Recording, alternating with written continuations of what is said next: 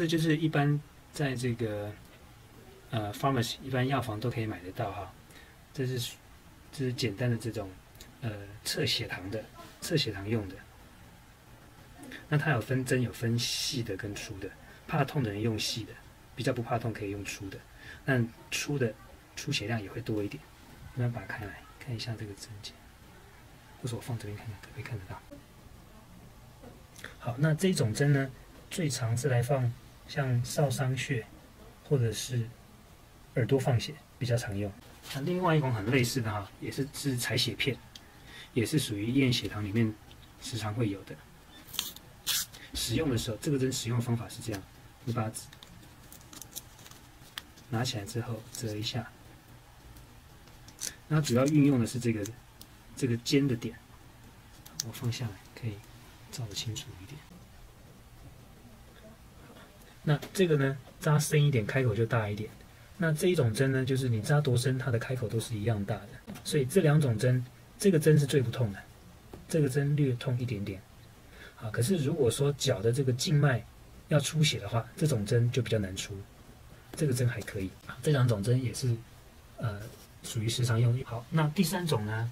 啊，我觉得是基本上很方便而且很好用。这个是呃西医的注射针的针头，好，那号数呢是最初的是十八 G，就是这个十八 G。那这个部分呢，我们还得感谢跟西医相关的这个科技做的很进步。因为这些他们做针的锋利度、锐利度都比我们的三菱针要好，那这这点我们应该想办法改进。好，看一下，这个就是，实际上就是西医的针头，这号数是十八 G 的。它的优点呢是它的锐利度很够，所以放血是那个血管的时候啊，很好扎，而且相对来说疼痛只要速度快，疼痛度就小。那有人问我说：“那放血怎么样可以不痛呢？”两个原则：第一个，针越锐利越不痛；第二个是速度。当你的速度慢的时候，它就痛；快的时候，痛度就会比较减小。但是也相对哈，这个针头它比较锋利，所以你的力量的掌握呢就要比较小心一点，因为有的时候力量过大会刺穿整个血管，刺穿过去，这时候很容易肿起来。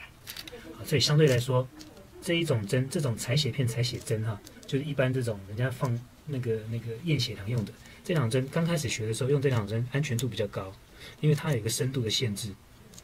啊，那使用这个呃放血针呃针头的西医的这个针头的时候，使用起来就要小比较小心一点，因为深度要能够掌控。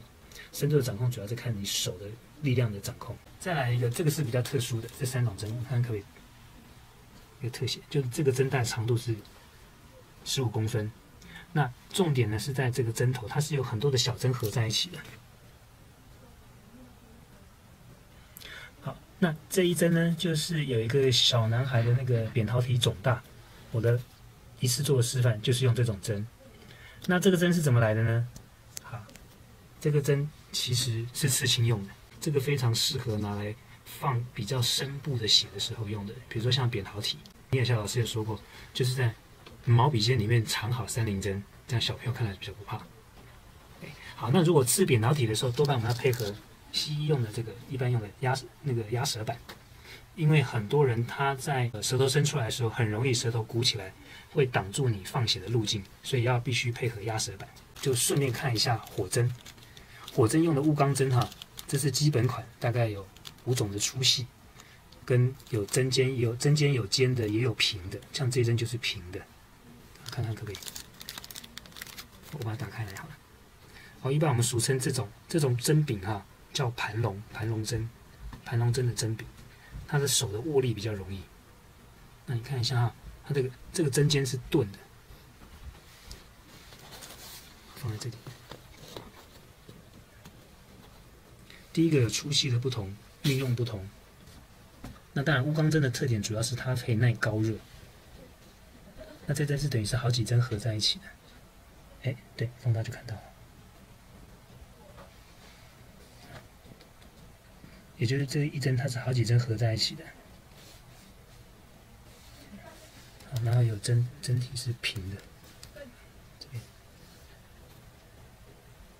对，它的针尖哈它没有针尖，它是平的。古人常用的三棱针哈，三棱针基本上分两种尺码，有粗有细哈，这是属于细的。一样，把它放大，然后做个比较。这个就是粗的，这个是细的。